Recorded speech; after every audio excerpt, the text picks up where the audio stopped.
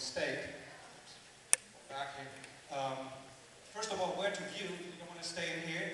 Um, we have a large, grassy, beautiful campus, and any outside area is fine to view. Make yourself comfortable. Downstairs, downstairs near the lower parking lot, we have one elementary school that has reserved an area for themselves. It's marked with yellow area, so please leave them alone. Um, all our buildings are open except for the library. Um, please feel free to uh, use the buildings to go to the restrooms or to cool down as you need. Um, we have uh, several campus guides, and they're identified by high blaze orange vests. Um, ask them any questions. Ask them uh, where, where you need to go uh, to the bathroom, or if you want to go to the concession stands where that is. Um, then, I can't emphasize that enough, uh, eclipse safety. Except during the totality of the eclipse, which was going to happen between 2.32 and 2.34 this afternoon, do not look directly at the sun unless you wear appropriate eye protection. Don't use your sunglasses, they are not dark enough. All right, so we are, we're handing out some eclipse glasses. Please share uh, as needed. Don't look through binoculars or telescopes or camera lenses. They just bundle the light and they make any injury more severe. And so NASA recommends the following eclipse safety. First of all, if you have a solar filter or uh, goggles, make sure that they're not scratched, punctured, not torn, or otherwise damaged. If they are, toss them out. Um, make sure you read the instructions. Supervise your children, right? Um, if you normally wear eyeglasses, put your eclipse glasses on over them. Um, and uh, you demonstrate this. Don't look directly at. Avert yourself like this. Put the eclipse glasses on, and then observe. And before you look down the way, before you take your glasses off. Um, I- We already talked about the camera, don't look at through your camera lens. Um, If, there are some filters available for, uh, for telescopes or binoculars. Please feel free to use it if you know what you're doing. Right, so, so don't try that at home. You have to know what kind of filter you need for your uh, binoculars or, or for your, for your telescopes before you use them. And uh, remove your solar filter only when the moon completely covers the sun's bright face and it gets suddenly quite dark. And so we won't, uh, cannot assume an liability for what you do while you look at the sun. So please, you want, you're looking at the sun at your own risk. Um, and the same goes for any glasses that there are, the ones that will be distributed, the ones that you might have brought. Use those at your own risk. So, just uh, for uh, comfort, please use sunscreen. You're going to be outside for a few hours. Um, stay hydrated and uh, go into the buildings for cool air. In the gym, the women's basketball team will have the concession stand operating. They have sandwiches uh, and, uh, and drinks available. Also, on the open areas, our Student Honor Society will be selling water. They will be selling T-shirts. I got mine this morning. I was first picking them. and uh, they will be selling snacks, and they will all be uh, for the Student Honor Society Phi Theta Kappa. All right, so the program for the deaf will uh, start with our lecture in a minute here. Then we'll have another lecture, which is not stated on this PowerPoint here. Um, and then from one to about three or so, we'll be, uh, we'll be viewing the eclipse on the campus. And now let me welcome to the stage, Roane State President, Dr. Chris Whaley.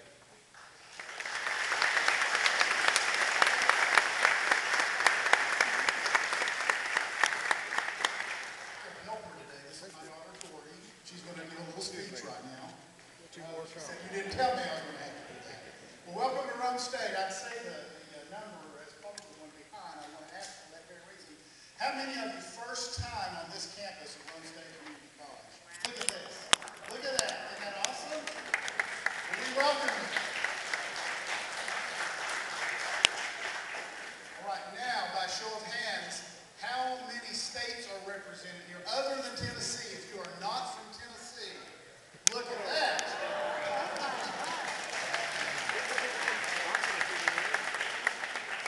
We welcome you, and because we're, we're wanting to get everyone in here that, that, that really wants to hear this, uh, the lecture during this time, would you mind, there are some seats here in the middle. If you have seats between you and the middle, would you scoot a little bit? Would you, would you scoot a little bit one way, and that way folks don't have to climb all over? We sure appreciate that. Just trying to get all the folks in here so everybody can be comfortable, and I sure appreciate that.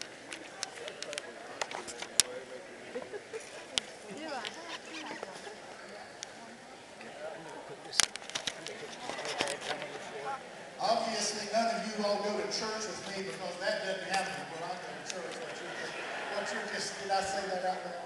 That's not true. That's not true. That's not true. We're so glad that you're here. Roane State uh, is one of the 13 community colleges in, uh, in Tennessee. We have just under 6,000 students, and what is unique about Roane State, number one, is that we spread those, uh, uh, those students over nine campuses and more teaching sites than that, but we, we actually have nine campuses spread out over our, our service area. And Roane State is very, very unique among all community colleges, David, I guess, in the entire country, in that we have an observatory. Do we know how many other community colleges have an observatory? Almost none. Almost none, so there we go. We'll say none. Presidents are good at just kind of making things up on the spot, so. I meant me. I meant me. Um, well, I'm going to do one more thing, and then I'm going to turn it over um, again to Dr. Dr. Pomper. But uh, since you don't know me that well, you have no way to know that I don't go anywhere without getting a selfie. So, Corey, don't fall off the stage. You come right here, dear. We're going to do this. Everybody ready? Everybody wave. Very good. We are so glad you're here. I want to publicly thank Dr. Marcus Pomper. You can imagine to get a day like this organized. Here's the man who did it. Welcome to Roane State. Enjoy your trip.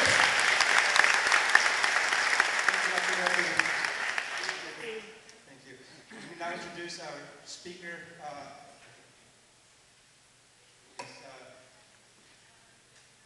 For today, uh, Dr. David Fields. Dr. Fields received a PhD in physics from the University of Wisconsin. And in addition to a research career at Oak Ridge National Lab, he held visiting scientist appointments in Germany and in Brazil. And he served as IAEA technical expert and was consulting physicist at ISSI for NASA. A past president of the Te- Tennessee Academy of Sciences, he taught physics at the University of Wisconsin, astronomy here at Roane State, and physics at uh, State. He holds two U.S. patents, an amateur radio, a scuba, a private airplane pilot's license, and enjoys instrument construction, music, and diving. Dr. Fields is the director of the Tamke-Allan Observatory of Roane State, Orion founder and president, and senior researcher at I4IS. His current research interest is perfecting and uh, RASDR computer interface radio astronomy instrument. So let's please welcome Dr. David Fields.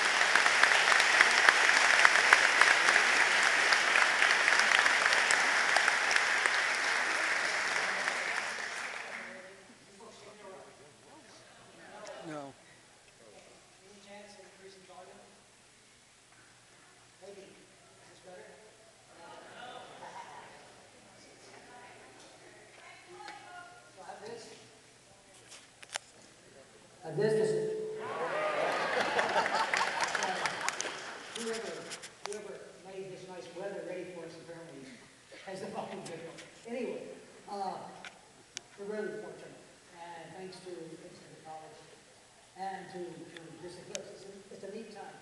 I'm going to tell you a little bit first about what we do at the observatory. So, San Diego Observatory is not on this campus, it's about four miles away. So if any of you visit, for example, on the first or third Saturdays, check it out.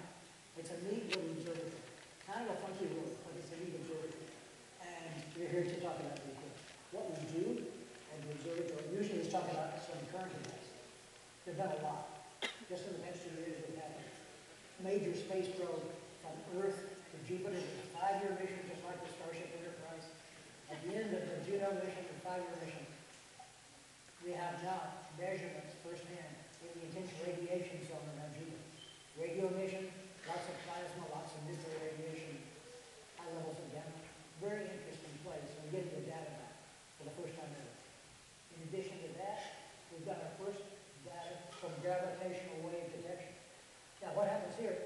according to Einstein, we have two black holes. We don't see them because the light gets captured, they're so dense and massive. If they are orbiting each other and get closer and closer and finally coalesce, there's a particular type of radiation. That little chirp can be predicted mathematically. So it turns out this special little chirp, not a radio wave or optical wave, not electromagnetic and gravitational wave radiation, was picked up. The same chirp in Louisiana and in Hanford, Washington. This is pretty cool. People have been trying to do this for 40 years. Lots of disappointed people, scratch business and bad news, and things like that. But if you look up there, this coalescence of the church shows the same signal. A little bit delayed in time because they're not instantaneous. They move apparently at the speed of light. So that's the physics. If we want to see what we can actually do here, uh, do some radio astronomy, some optical astronomy, we can look around, watch the skies, we can do teaching. And uh, have been pretty, useful here as well as the public stargazers. national. So we could actually get involved with sending telescopes, uh, telescopes orbiting and radio telescopes orbiting. So what you see here are satellites that we could actually build, and if they're good enough, and NASA gives us free launch time to launch, they're they're not really that big. They're about this big, they're very affordable. Tiny little telescopes that they more or less toss out of other space missions. So, once they're up there, that's expensive, they can be tossed out. And for a while, they orbit here, and they send back down. And the data we get is data that is not normally received on Earth, because we're surrounded by layers of ionization, called ion- ionosphere.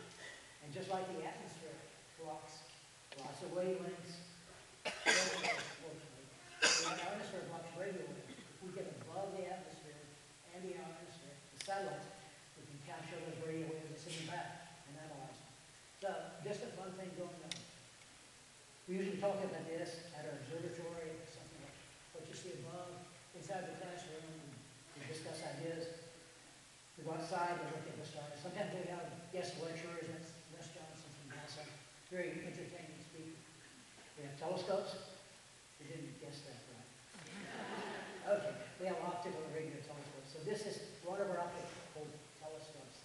It is a refracting telescope, so it has a lens in the front, just like the lens in eyeglasses or the lens in your eye. So we call this an eight-inch refracting telescope because the diameter of that lens right there is eight inches. And it seems not so significant, 64 times the diameter of your eye, the pupil, and it's dark enough. 64 times diameter means about 4,000 times the energy per ton. 4,000 times the number of photons. So things are brighter. In addition, up to a point, wider images give you more resolution, uh, more, uh, more clarity in the image. So that's one of our telescopes. Reflecting telescope, and it's also co- computer controlled, so lets us see things, lets us find things that ordinarily are very difficult to find. So, we see planets, we see stars, distant galaxies, uh, sometimes asteroids, we see comets, comet are interesting. Sometimes we have surprises. You've seen these pictures of people at your local automobile repair shop or rental distributor. You see a motley group of people out there with wrenches. Well, these are, these are some of the amateur astronomers that showed up a couple of years ago for the celebration of the anniversary of our government. And he said, let's take a picture. So I picture. Then we said, let's take a picture with no lights. Let's leave the shutter open. We got this. And the difference is that saving of that light, you saw the little red light we had in the dome. Uh, the story of why this is blue is a different story, we'll tell you sometime. The story of why the sky is yellow is a sad story. That's light pollution here in Roane County. This is looking out over Kingston. So every community generates light pollution. Neighbors' windows, shining in your driver's eyes, shining in the sky. And it's bad for astronomers, it's bad for people sleeping, bad for foxes. It's good for foxes, bad for rabbits, okay? So light pollution comes in from all directions, looking south. Got a trigger for you. Looking up, and you see light coming in from all around, from Kingston, from Harriman, from Rockwood, sometimes even your own state. So the light pollution we have here is somewhat typical. Actually, we've got a good spot here compared to most of the world. Billions of dollars a year per year are wasted on light shining. This is what we're gonna see today, and this is, this is not the best simulation we'll find. We found many better simulations to look at NASA science and look around the world. But this is kind of interesting. This is a depiction, computer depiction of the sun, the moon's shadow shading the sun, going down through the atmosphere. And you get the idea of that, this eclipse is fast. The spot where that shadow intersects travels at about a thousand miles per hour. It's a little spot, sixty miles across, traveling across the country at one thousand miles per hour, a little bit greater. But the eclipse, except that path of totality, the eclipse is visible from the entire America. Just about no matter where you're from, you could have stayed home and you've seen the eclipse. Okay, But, the but's important, but not totality. Totality, when the sun is completely blocked, is the deep time. And that's why this is so important, the great American solar eclipse of 2017. That little ribbon, in the little ribbon you see, for a brief time, you can see what's going on around the sun. You also see the sun and the moon about the same spot as the sun. So it's an interesting time. And we see every year, just about, there's an eclipse. But it's a very tiny place on the Earth's surface. So you can stay here for 100 or 200 years and not see another totality. It's a very special thing to see. Most people don't see them in their lifetime. But They have. And they've been the stimulus for a lot of stimulus in history, cultural surprises. As one one culture has some astronomy, and know an eclipse is coming. They interact with another culture that does not know. And this, this language, this, this knowledge is impressive. Uh, you can, you can bargain with things if you know that the great dragon is not really going to eat the sun. you can make it go around. So you can, you can bargain for things if you know physics, you know geometry. So the, the ancient Chinese, Arabs, different cultures, Aztecs, worked out some geometry in many cases that said the moon is fairly small and close and orbits it up. Once every 28 days, and the sun is much larger and much more distant. And either it orbits Earth about once every 365 days, or the Earth orbits it. Gradually, that happens, of course, the Earth orbits the sun. So, the fact that we have the sun and the moon, that they get eclipses, and we can make measurements, is a great stimulus to geometry, mathematics, to astronomy, course, to physics. And that continues. This is a, a little patch of stars in the sky. And the neat thing about it, this was the most watched place on Earth in 1919 because this region called the Hyades, it said in the constellation Taurus, is the place where the sun was found.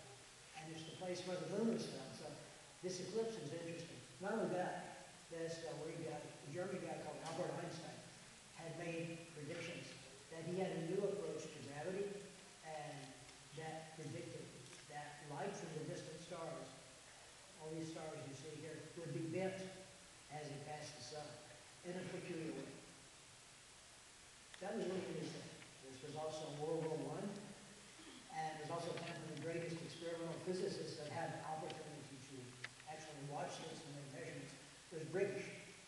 So the collaboration between Albert Einstein and Sir Alfred Eddington was, was a great thing, and it's still a great thing with cooperation, with science, working together to try to understand nature and make predictions. Uh, just a fascinating thing to do. Then the topic of a lot of movies, TV specials. This movie was, uh, the two movies actually, these are not pictures of the great men. That's not really us.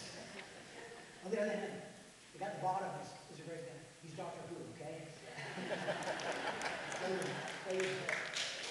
Okay, so, some great physics. How do you see it? You see it safe. Use glasses. And not just sunglasses, and you hear this too many times, but use some nice eclipse glasses. Uh, you can use projection if you want to make a little hole in the card and project that. And I, I talk to astronomers and I say, and you get a little circle, right? And everybody nods. No, you don't get a circle. Not anymore, not today, not with the eclipse. You're gonna see a little eclipse, you're gonna look a little image. So that's pretty cool. And I'll show you how to do it for living. Okay? This is my, my assistant here. He's gonna show you what to do. Remember, no eye protection, look away from the sun, put your hands up, and make, make a little dot out there. If you do it normally, you got a flashlight. If you do it normally, the little dot, is you're gonna get a little dot. but Today, it's a little eclipse, so you just made yourself a living calendar, and you can take a picture of it. Get a, get a card. If you get it right here, it's a small image. If you get out of here, it's bigger. And if you don't have an eclipse, it's washed out from the sun. But during the eclipse, it's dim. That was well, that was well done. Okay. Lots of other things to do. You can take binoculars, point them to the sun, and get a little image. That's really cool. to do. I'm gonna walk around with uh, one of our actually safe. I've got a friend out in the lot trying to, he's making that. So you might see him around or something like this. But we'll project the sun, it comes here, bouncing off from here, there, or there, and it's projected onto the paper. So you can see the eclipse. One thing to look for through any type of uh, thing like this is sunspots. So there are about three large enough sunspots out that you can see, not so well with the eye. And uh, I've got a little radio experiment going, trying to detect radio waves them. So that's running it home, I hope. Okay. These are what you do. This is what you don't do. Just don't go there. Because the telescope, think of all that aperture, think of all the light it collects. He's trying to focus that light down, get image, and protect his eyes with the solar goggles. And the point is, that completely overloads. I mean, it's gonna be diminished in brightness, about right.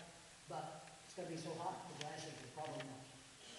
And then he's gonna be really, really unhappy. So, if you see somebody doing this without a solar filter on try to talk about it. Just tell them you're sorry for it.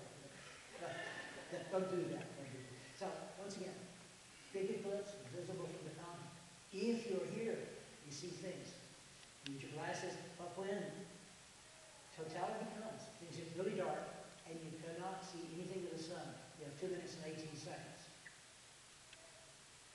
to take off the glasses. No more. When you do that, you'll see the sun shining through the valleys of the moon. This is nice. It's called Baily's beads. You can see the diamond ring effect, kind of a big Baily's bead over the edge. You can see, look around the edge. You see if you see the red of the solar prominences. That's called the chromosphere because it shows some color. And that's actually hydrogen, cooler hydrogen, going up above, following the magnetic field lines from a coronal mass ejection off the sun and turning back down. So this prominence is a, a very unique thing to see. You might see this, probably not. This, this is, I think, an artist's conception, but occasionally one can take photos that gets just about this good. That's the solar corona, means crown, and that's the plasma around the sun, and also shows the, the mass screaming out of the sun, which is typically occurring, but it's so much different than the sun that we just don't see. Altogether, it's a pretty awesome experience.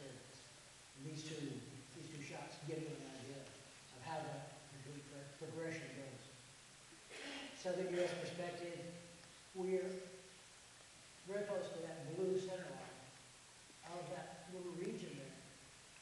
That's, that's uh, going to show some totality. For here, starts about 1, from 232 to 234 in 20 seconds. That's the time that's really fascinating twenty would you see this? Well, it's another little living camera thing.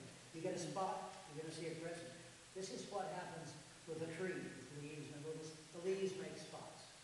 Normally, we see just kind of a model thing. We don't realize each of those little model things is a triangular sun. Little circular image, but if it's triangular, you can get some intriguing images, so if you're around a tree, take a look at it. Also, the sun just the. If you have a chance to look at a white sheet or brown, anybody have a sheet here? Okay, I'll try to come out and stand in region. But you might see some little flickering patterns, little wave-like things going across, uh, which I used to watch as a, as a kid when I'd swim without goggles and open eyes in the pool. And, and the water uh, make little waves in the bottom. That's kind of cool. So that's another thing to look for. Uh, it's, it's a good thing. You see some telescopes here with solar filters. You see some people with solar filters. And, uh, this is just, we've seen this before. Just, just be careful. Share your glasses. Uh, be safe. Enjoy it. Clean up the area when you finish. We want, more, more questions? Uh, we do. We do have uh, time for a few questions.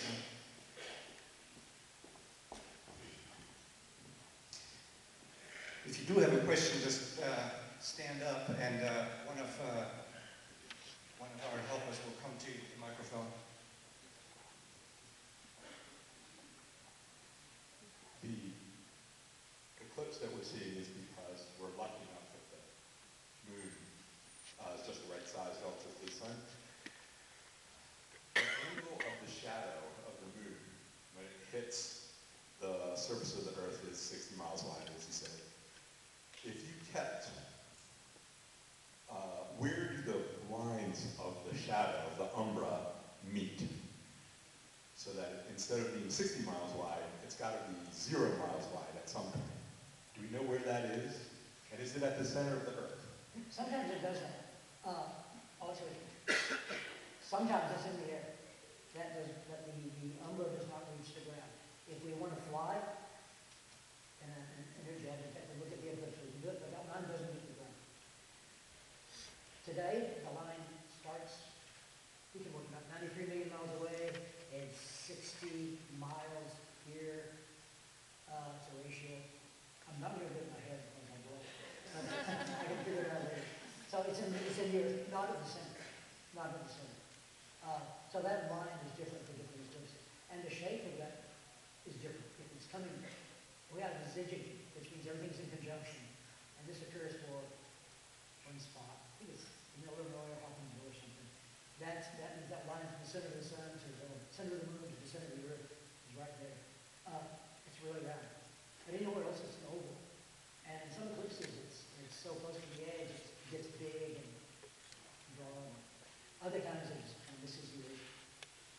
But we've got a chance for, we have about one eclipse somewhere every eighteen months. We have several lunar eclipses. Okay, I hope that answers it. I gotta figure it out.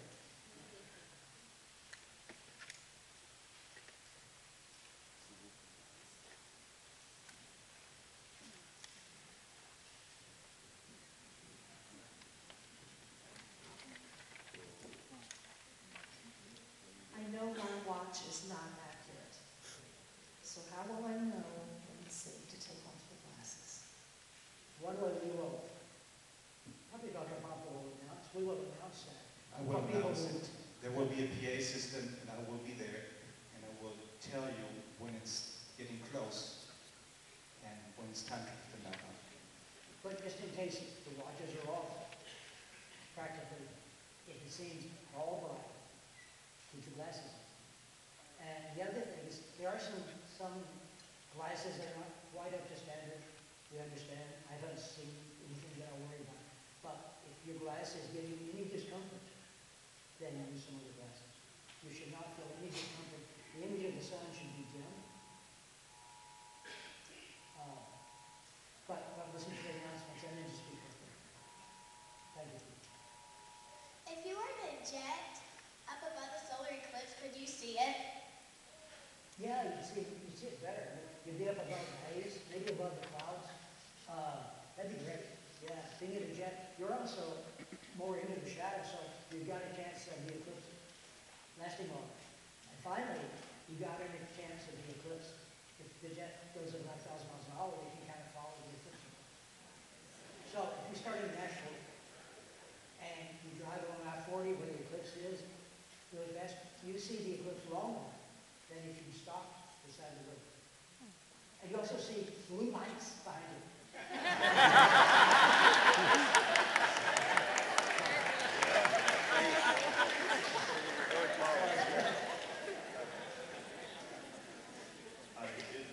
I have a question about the, the wavelets you were mentioning at the end of the lecture. Um, you can see them on the sheet, you mentioned akin to like swimming underwater. Uh, Is that due to, uh, like some kind of diffraction or constructive like wave interference, or yeah, constructive interference that otherwise isn't visible? I think that's due to the lenticular effect of the atmosphere. If you have variations in the index of diffraction, just due to different temperature or different moisture. So like diffraction. I, I think it's just, it's just refraction in the atmosphere. Now, you can have diffraction, that's why I've got this, this crazy radio measurement going, I'm trying to make a difference in the direct radio signal and a signal that bounces off the moon. Uh, really, the sum of the radio source is far too big, but maybe not a sum. Thank you. Thank you. Um, if you were on the line of the umbra and the, is it called pre-umbra, something like that, the other shadow? Is it a matter of like, if you stepped over the shadow line, you could then see the totality? Yeah, but it's, it's, it's not, okay. You can go from stepping here when you see no totality, to stepping here where you see a little bit, but it's like a difference in time. Because I step over here and it's just almost totality. And over here and I got a tenth of a second when it comes, just when I do see a little bit of totality. If you're in the center, it's only over two minutes and forty seconds, right in the center for this region. If I'm in Roane State Oak Ridge campus, I see the eclipse, but no totality. If I go to the Walmart parking lot, I see a few seconds totality. And if I went to K twenty-five, region, it's uh, forty-five seconds. And here, it's two minutes, eighteen seconds. So, I think this is a civilized place. Sorry, big crowd, nice people. You mentioned sunspots. Could you explain what sunspots are? Yeah, the sun is, is really interesting. The center of the sun is, is a really crazy nuclear fusion fission reaction. And then there's just maybe, maybe twenty percent of the center. And then there's this huge region where the energy goes out. If for some reason the center goes out, it'd take us several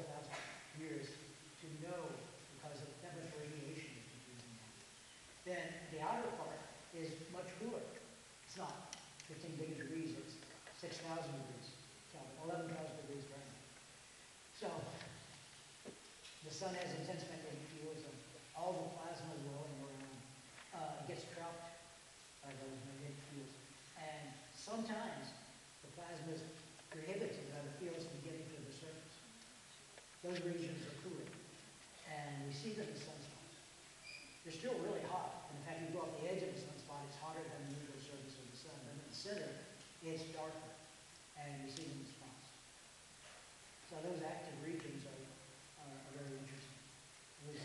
watch and say, hey, I can tell how fast the sun's rotating by watching these things. Or I can get some really interesting radio signals from them, or optical signals. This is cool reading because of the plasma and. Is that okay? Is that- Uh, I'm a little hard of hearing, but I don't think you mentioned the 1914 eclipse with Arthur Eddington and Albert Einstein, that Einstein wasn't allowed, or Eddington wasn't allowed to travel in Russia where the eclipse would be. And besides, Einstein didn't have the uh, deflection of the light quite worked out right, so he would have got the wrong answer. Oops. I didn't know that. That's interesting. That's interesting. Well, you know, you can work it out. There's a little way of doing that calculation. Uh, it's really easy. Uh, the trouble is, if you don't do it Einstein's way, you're off by a factor of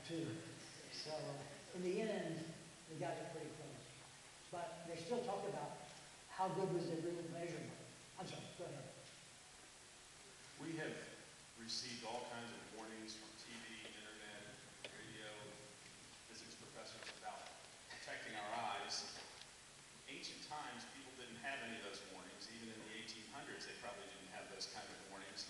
Why do we not hear about them having severe eye damage, or did they? I think they probably did. Um, if I go out, I, as a kid, I could, I could watch the sun, and, uh, and it didn't seem to cause any lasting problem. But I've got a real tendency, I think all of us do, to turn away. It's painful to look at the sun. My guess is, it is quite tolerable to look at the thin crescent just before the Chakala. Now, you might tend to think, hey, I can look at the little crescent, and, and then, that's wrong, because what this means is instead of destroying temporarily a little circle destroying a little crescent. So I think that's the dangerous time. I think people, that's why people said you go blind if you at the eclipse, because the work people, and a lot of them, uh, Sorry, question. Now, the science nowadays, how close are they to very accurately predict when other eclipses are going to? Is there Yeah, they're pretty good at predicting the solar eclipses. Uh, gets a little because it works out well with the sun and, the earth and the moon. And even, even the people who built Stonehenge had that predictive capability. They could predict some of the eclipses. So for a long time, but to do it super accurately, you have to take into the, to gravitational fields of of Jupiter. And, uh, Time-wise, how far out can you predict? Can you, a little louder? Time-wise, how- how far out can you predict the solar eclipse? How far out can you predict the solar? What is it like, um, right now, how far, like this one, for instance, how far out did you predict that? Is that like six months or eight months, or you were far I, out that? I think the answer would be pretty far, but I think there would be little, little subtleties that would creep in, that the error is real. So it's not absolute. I don't know the answer.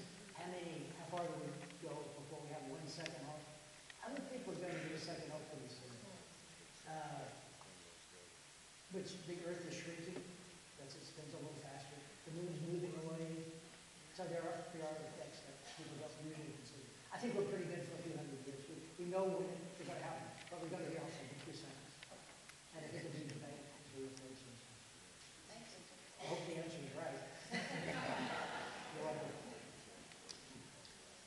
Uh, hi, in addition to the, you mentioned the, the hydrogen flares tracing the magnetic field lines, are there- are there any other representations of the sun's magnetic field we could look for during the eclipse? Yeah, there are some. Uh, those prominences are pretty neat. But in general, plasma that strays from the sun follows the magnetic field lines. So if you have a coronal mass ejection, it, it's going to tend to follow the field lines, even if it's not one of those hydrogen atoms. So you'll see that in the screening part of the corona. You sometimes see it, sometimes not. Oh, we've got a good chance today. The sky is very clear. So I hope we'll just see some of that, as I showed you in the picture. So that's, that's another manifestation. To measure those fields is required looking at uh, changes in the spectrum, either because are moving toward or away from it, emission, or. I just wanted to ask a question. Um, I've heard so much about all this eclipse stuff, I'm a little confused. Once I heard that, uh, we haven't had one year since like a hundred years, nineteen eighteen. Then I heard, I remember when I was a kid, that I saw an eclipse, like in the seventies. And then they said we're gonna have another one in like twenty twenty-four. So, what's this hundred years thing, and we're having another one, and we've got I'm like a little confused on all this. Why they say we hadn't had one here in hundred years, and then they're saying we had one in the seventies, and then we're having another one in twenty twenty-four. Yeah, it's, confusing. People say these things, they don't usually pin them down. Fact is, solar eclipses occur every, once every two years. So they occur, but to see them, I've got some friends who love to go to eclipses. To see them, you've got to travel a lot. halfway around the earth or something. So, to them, this occurs every couple of years. To you or me, maybe we don't have a travel budget, or we of live at home. We're not gonna see one our entire lifetime. And if I say, considering our grandparents, future residents of this on earth, when is totality gonna happen So, how far are we willing to walk, to drive? That's what determines those times. Here, Golden State, you better make the best of. I have a question about the use of binoculars to project a solar image. In your experience, is there a concern about burning the coatings on the objective of the binoculars, or is that usually not an issue? Well, that's a neat question. I haven't seen anyone write about it. I have seen that what you're talking about, uh, starts to occur when you use a telescope with a bigger aperture. And for a while, people were making projectors. And, uh, we still project. But the intensity of the light just outside the the lens is pretty high. And so I once saw smoke coming from the telescope. So don't put the eye there, it's, uh, you can risk the scope, the telescope, but it does get hot. I think we have room for two more questions. Um, okay. Sir, if the people in Spring City, how much, how much more time will they view this total eclipse than the people here at Roane State? I think it's on the order of that difference between those sites, it's probably like twenty seconds. Thank you. But we have a lot of, a lot of nice traffic in, in Spring City. You can, you can be parted from your running always. Our last question. Okay, um, I was wondering if you could explain why it says there's changes in animal and human behavior. Sure, it's, it's because we are the very natural creatures. We got, not us so much, but animals are still very much in day and night. They know when it's safe, based on their eyesight and what they're hunting and what they're trying to avoid, when to make this transition. So, when they see, uh, darkness coming, they know what to do. And people, when they see darkness coming, uh, they can become a little bit, a little concerned. Maybe it's a big storm. So we've got our built-in patterns, and this is what it means. Birds will probably go to roost at the end of the roosters may crow. Bats may come out, not that I expect to see a lot of bats, but there are one. So things like that, that's, that's what it means. And what do people do? Some people get very excited. Uh, I think that's, that's a nice closing note. Let's thank our speaker